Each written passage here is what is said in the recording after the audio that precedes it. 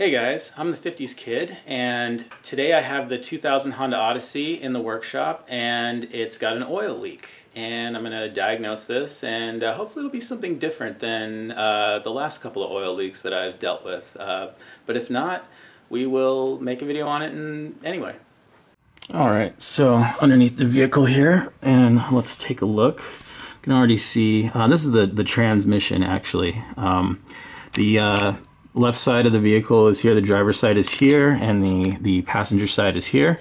So uh, right here you can already see there's some oil on the transmission. You can see uh, another drop of oil here. And yeah, oil has been dripping sort of on the passenger side of the engine.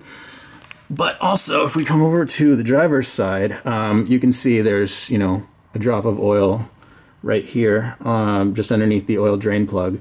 Um, uh, there, were, there were problems with the oil drain plug, um, and I, I, took care of those in a previous video. Um, so I know that that's not uh, the cause of it. Plus, it would not be that. If the oil was just leaking from there, um, that wouldn't explain the oil that I'm seeing higher up on the oil drain pan, or the oil pan. so uh, what, what, I'm, what I can see as I look along the side of the oil pan here is that the whole oil pan is is covered in oil first of all. So I want to look higher than that. Um, I'm going to look on both sides of the engine and you can see above the the oil pan right there the aluminum of the of the block is just very very clean. It's there's nothing on it there's no dirt there's there's no caked anything. So that's uh, that's really really nice. Um, but it's not a clue for us so we kind of have to look elsewhere so whenever I diagnose oil leaks on an engine, I always start as high up on the engine as possible because if you start repairing things on the bottom of the engine and the leak is actually coming from the top, you're, you know, you're really not repairing anything. The oil leaking from the top of the engine, of course, is going to drip down to the bottom of it and uh, and really confuse you. So always start at the very top. And right now we are looking at the we're looking underneath sort of the the um, well, it's basically the side of the engine, uh, the driver's side of the engine. There are various accessories there. I don't want to start naming them, but you can see very caked up. All right, here we are on the top of the engine. This is the the top of the area we were just looking at, and you can see how there's uh, there's oil and and grease caked on on here, and there's dirt there's dirt caked over top of it. And this is basically the valve cover right here. And the gasket is between it and the cylinder head, which is beneath it. So what we're looking at right there that's all caked in dirt and grease is the cylinder head. The top of the engine looks relatively clean otherwise. You know, you don't really see, uh, you're not seeing oil splashed all over these areas and you know it, it, you would you would think that that a valve cover or a blown valve cover or leaking valve cover would would cause a lot more oil to go all over the place but this is actually more of an insidious kind of a leak really because the valve cover the, the, the, the valve train isn't really under a, a, lot of pressure when the engine's running. In fact, it's actually under a vacuum when you're when you're idling. You can tell you can test that by starting your engine, taking off the uh, the oil cap, and you can put a little like paper towel or something over here. You'll feel it kind of sucking in. But then as as the throttle opens, the engine accelerates, uh, the, the pressure changes, and you'll actually get some air air pushing out of here. So when you've got the cap on, you, uh, you the, these alternating um, um, pressure differentials, you know that that's going to push oil out very very sporadically, very slowly, and the oil is gonna gonna sort of leak in in in small amounts and it's going to trickle all over the engine and it's going to it's going to travel you know through capillary action. It's going to it's going to make its way you know as, as you're driving along gravity is going to the gravity and wind are going to whip the oil you know basically as, as far and wide as it can go. And it'll fall down you know it'll fall down the sides of the engine here it'll fall down the sides of the engine there and get down to the bottom like it's doing. And make things look like, you know, you might have an oil pan gasket that's leaking, but really it's actually the valve cover gasket. So I'm gonna go ahead and change these. The first step is to remove the air filter cover. There are four nuts. They're eight millimeter or number two Phillips, but sometimes they're a little rusty, so I just kind of prefer the eight millimeter because I also have an extension for it and this, this lovely thing. All right, so the next step is to uh, take the intake boot off. I'm gonna unhook the cruise control here. There are just a bunch of cables. These are these are coolant bypass lines, by the way. Um, just just a couple of lines that are basically in these in these grommets and these holders here all along it. And there's a wire wire there. Only one rigid tube right here. You just kind of pull this clamp back. Actually, we may not even need to pull it all the way back. Um, I think maybe we can just kind of, I can pinch it open while I pull, pull the tube out here and just leave the clamp on there. That way I don't lose it, you know? Loosen the ring clamp.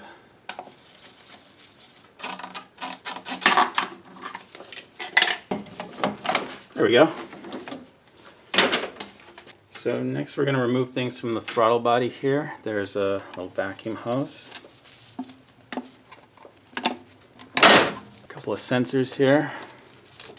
You'll notice this sensor is actually melted on mine. This is where you would normally disconnect it. Um, since mine's melted, I, I think I'm just going to have to disconnect the whole map sensor from the throttle body. I believe there's like an O-ring. But pretty sure, yeah, I, I can probably reuse that O-ring. So I'm going to set that aside in a safe place. One more sensor down here. Uh, at this point, there are actually two coolant lines connected. Uh, there's one going in from the side, and then there's one coming um, out from the bottom. And we'll deal with, we'll probably deal with those last. Um, right now, I'm going to take off the throttle cables. You've got two options for doing this. You can either uh, loosen these nuts and that way you can just take them off or you can just take the uh, the bracket off. I think I'm going to take the bracket off. That way I just don't have I, I don't have to adjust them when I put them on later because you know if you if you do take these off and this these back nuts move at all, that's going to affect the adjustment of the throttle cables. So rather than have to even deal with that, I'm just going to take the bracket off. It's just easier. But you can do it any way you want. So now that that's loose, we can get our throttle cables off. This is the cruise control cable. And you just, in order to get those off, you can see there's a little slot right there. And you just kind of push it through, push it forward, and it just kind of slides through that slot. Same thing for the accelerator.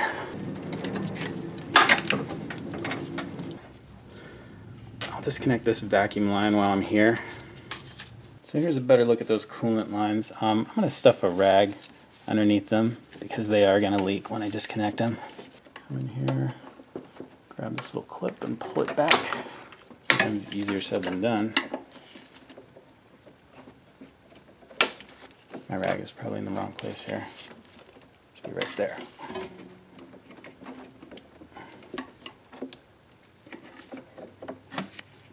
Okay, just a tiny bit of coolant. That's that's not too bad. And now the lower one's probably be going to be a little bit more. You could also wait to remove these coolant lines until you take the whole uh, intake manifold off it. It actually would probably be easier because you can just kind of flip the the whole thing upside down and just or just kind of get at it a little easier. But this is the way I'm doing it. There you go. So to finish getting the uh, intake manifold off, we're gonna remove these vacuum lines from back here. These can just pull off. There is a vacuum line that goes to the brake booster on the back here.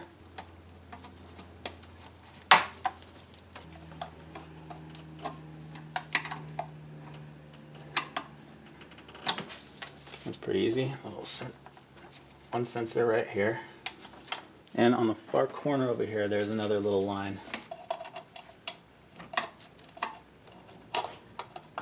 Which actually won't come off easily because it's uh, it, there's there's not enough room for it to flex, I believe. We can kind of, if you push it back like I'm doing here, it'll come, it'll finally come off. Now we just have bolts. They're all 12 millimeter.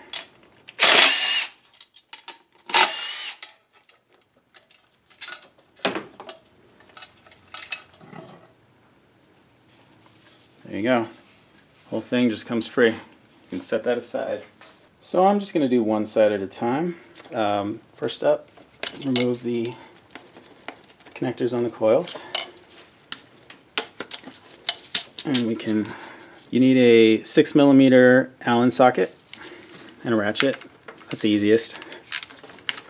And it's easier just to use the socket without the ratchet to remove the bolt. Don't drop them. I'll get that with a magnet later on. There we go. The coil and spark plug just comes right off. I'm going to set these in order. So next step, we'll remove two bolts from this rail.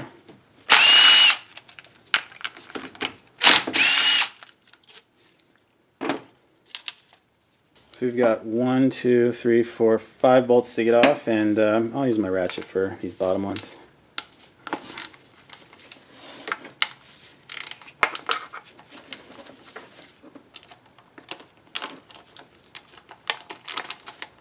They're turning pretty free, so I think I can just get them out by hand. Looks like that middle bolt is shorter. Two end bolts are about the same. Yeah, same in the front. There we go. There's a little hose on this valve cover right here. So we got to remove that.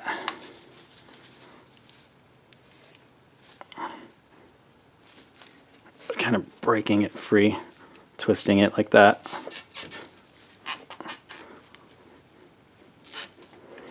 I can get in behind it and pry it off. Come in here with a big screwdriver and sort of just get the screwdriver in and turn it and that'll just put some pressure and just like that. Immediately take a look at the at the gasket and you can see that it's wet. The gasket's wet all along here. Right here, hopefully you can see with the light shining, it, uh, the wetness didn't go all the way to the edge of this gasket, at least right now, but you can see that there's oil residue built up around it. So that's that's where it's been leaking, but it hasn't been leaking from the top. It's been sealing pretty good up on the top. So there you go. Going to clean these, the surface off a little, making sure not to get any dirt down inside there. So yeah, this uh, this engine looks pretty good for 200,000 miles. I must say, this is this is what you want to see. You definitely don't want to see it redder and you, don't want to see any any sludge built up here whatsoever. But uh, my buddy's been uh, changing his oil regularly, which is good. So I've got a clean shop towel laid over the, the top of the engine there. I'm just to put the valve cover on it and I'm to pop out these spark plug boots with a screwdriver just really carefully. Kind of like that being careful not to mar up the aluminum there. It's like this old gasket's really melted in place after 200,000 miles.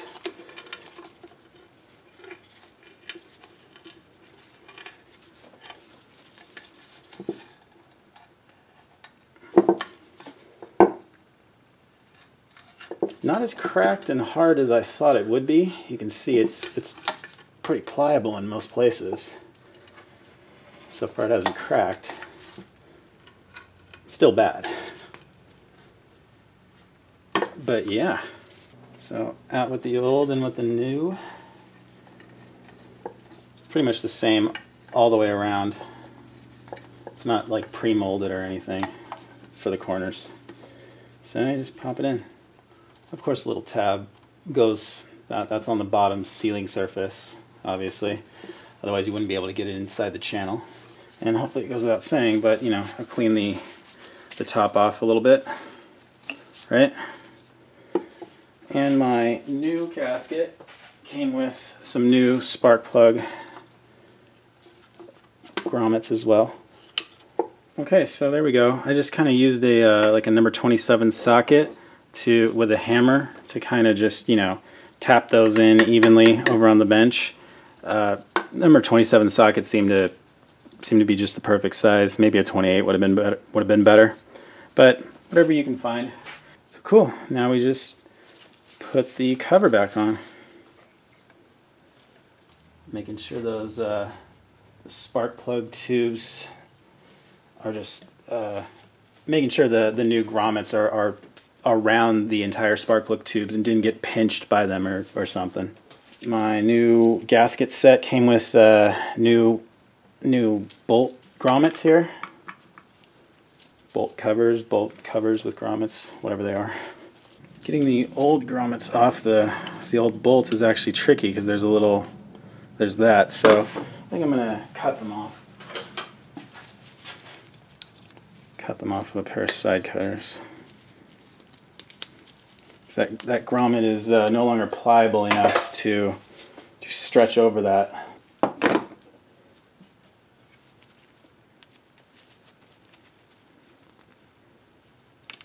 So, there we go.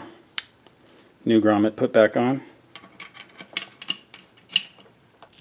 So we're going to torque these down to eight and a half foot-pounds, and the sequence is going to be one, two, three, four, five.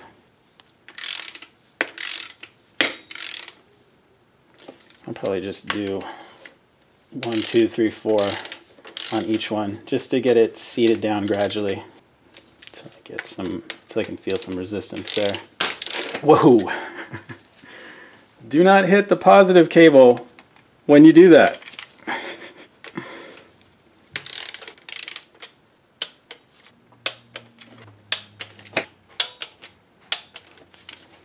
There we go. The oil filler cap back on. I'll put this hose back on.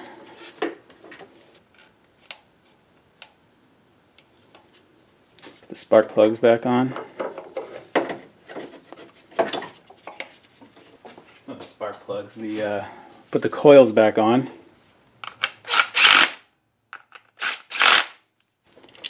Coil bolts.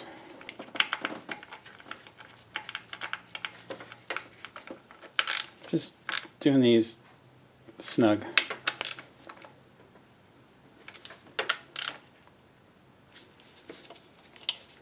Reconnect the coils.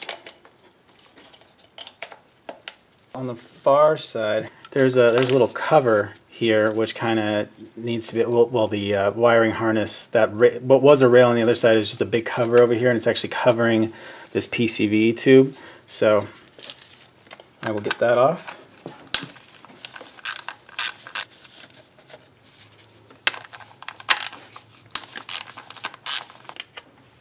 And it looks like there's a little bolt here as well. That's just holding the power steering line up there. Disconnect the coils. I think I'll, I'll stick it underneath the power steering line. It's just kind of out, out of the way. Like I can remove this now. Oh, looks like one of the little vacuum tubes is attached to it.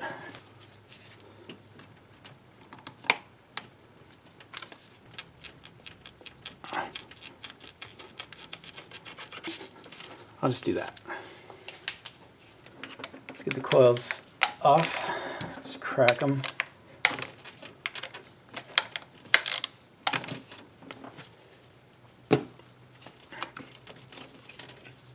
These coils out of here. Alright, now come and crack off these bolts.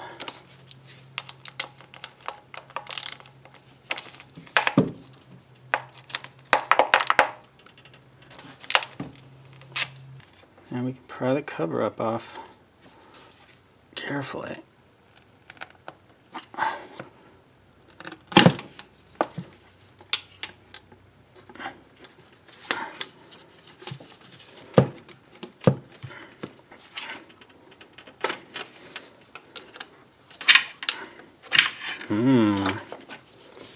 I do not like the way this one looks as much as I liked the way the first one looks. Not at all. So yeah, we've got a, got a lot of gunk in there. the uh, gasket's in much worse shape. You can see it was leaking all along the back there. So that's, that's most of our oil leak right there. Okay, so yes, there is a lot of varnish on, on these rocker arms, on these valves, but you can see that the, the machined surfaces, the, uh, the, the rolling surfaces right there, that roll against the cams, the cam lobes, those are clean. So uh, I'm not too worried that this that this valve train is getting starved of oil. I think if if you know if it was, it would have been seized up by now.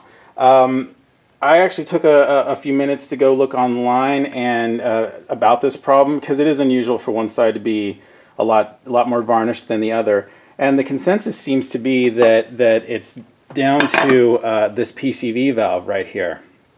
Uh, the PCV valve is, is basically just like a, a check valve, and it allows uh, blow-by gases that escape um, through the pistons and, and go down into the crankcase and, and pressure up the, the crankcase. It allows those blow-by gases to escape back into the intake manifold where they can get reburned by the engine. And they actually come out of this side, this, this side of the, the rocker assembly, and this side over here actually has a fresh air breathe, uh, breather valve. It actually goes into the, into the air snorkel before the throttle assembly. So it actually gets fresh air through here. This is the intake of the air on this side of the valve cover. That's why, so none of the blow-by gases ever travel up into here. There's always pressure pushing it down, pushing them down and making them, and making them come up to this side of the engine where they go through this check valve and, and go back into the, uh, into the intake manifold to get reburned. And this, this is a vacuum check valve. It's not always open. I don't believe this PCV valve has ever been changed. And again, this engine has 200,000 miles on it. So um, you should change these about every 100,000 miles. I'm going to go ahead and change this one. So as you can see, I've got my new spark plug seals pounded in here. Got my new gasket pressed in. And I'm going to put the new valve cover back, or the, the valve cover back on, I should say. Got my bolts already prepared with the new gasket, or the new grommets. I've tightened them down about halfway with, uh, with a ratchet, and now I'm going to come in and torque them.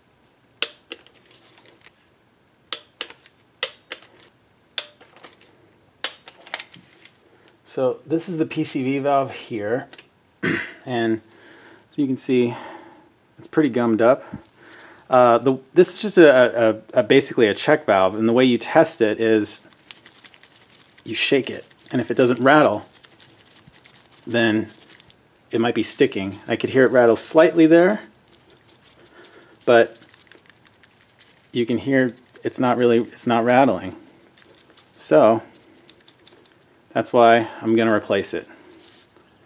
So I've got those coils back on there. I'm just going to tighten them down. So I've got the new PCV and its and its hose connected to it, and I'm to put this cover in here over it. And this little vacuum line snapped into the side of the cover. The power steering line had a little a bolt with a bracket back here. Bring the electrical harness back over.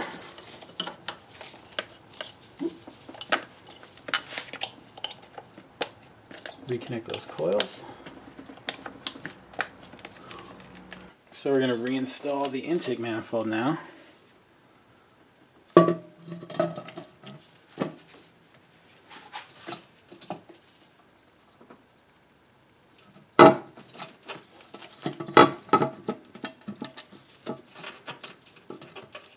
vacuum hose went there. Put that PCV hose on over here on this side. This hose with the brackets coming along over to here. There's an electrical connector on the back there. And you got these nuts.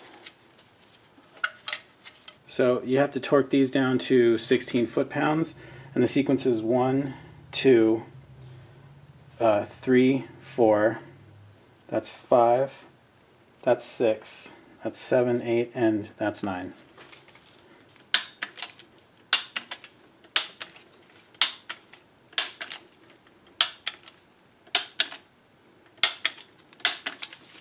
Get this uh, clamp over here. I'm going to reconnect these coolant hoses.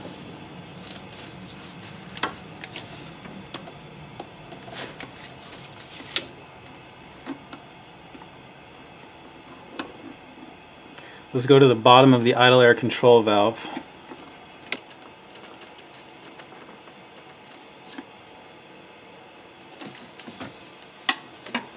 The other one was here.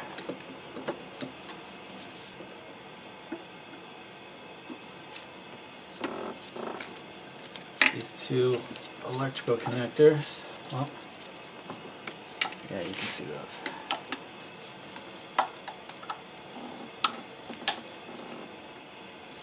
Vacuum line. So I'm going to put the map sensor back on. Here's the uh, the O-ring for it, which I'm going to reuse. And Here's that little sensor. Of course, you would just be reconnecting it right there.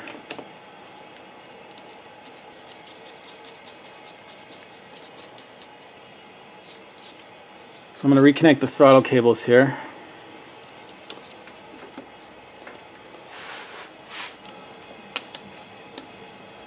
Okay, there's that one.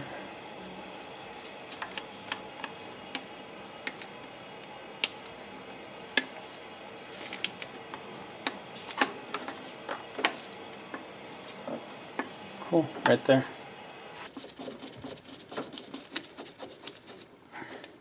Okay, let's put the intake boot back in.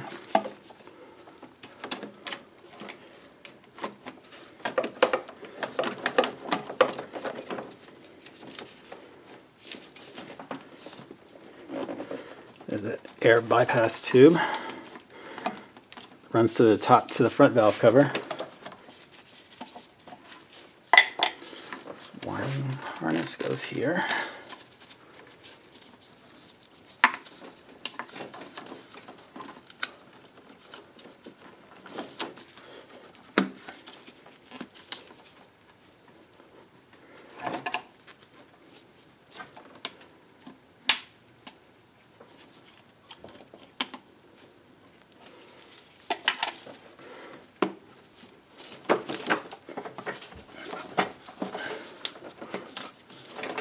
Don't forget there's a tube back here.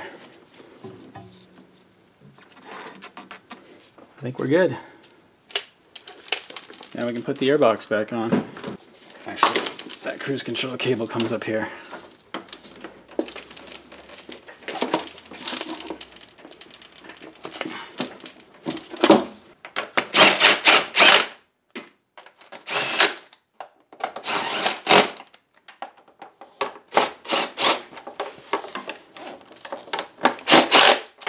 Well, now for the moment of truth. Let's start the engine.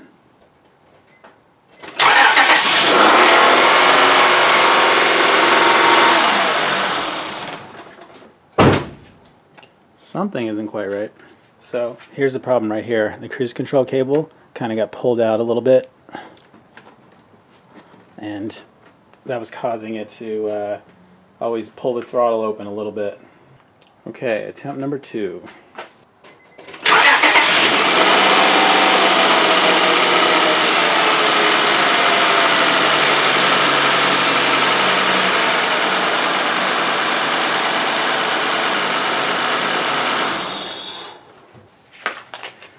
Okay, that sounded great.